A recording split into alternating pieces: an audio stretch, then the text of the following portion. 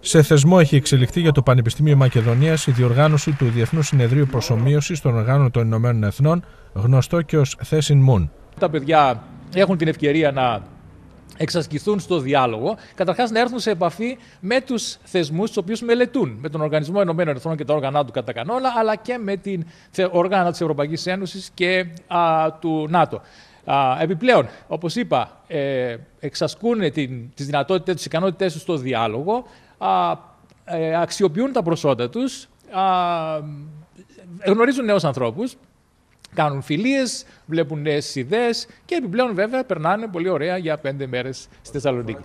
Στο επίκεντρο του 14ου Θέσιν Μουν θα βρεθούν ζητήματα οικονομικής και κοινωνικής φύσεως, όπως επίσης και ζητήματα του διεθνούς δικαίου. Έχουμε τουλάχιστον 400 ε, συμμετέχοντες σε αυτό το συνέδριο, όχι μόνο από τα κύρια ελληνικά πανεπιστήμια, αλλά και από πολλές χώρες ε, της Ευρώπης. Όπως είπα, είναι εξαιρετική διοργάνωση, η οποία δίνει την ευκαιρία στους συμμετέχοντες να εξοικειωθούν με τους θεσμούς των Ηνωμένων Εθνών, της Ευρωπαϊκής Επιτροπής και άλλων ε, διεθνών οργανισμών.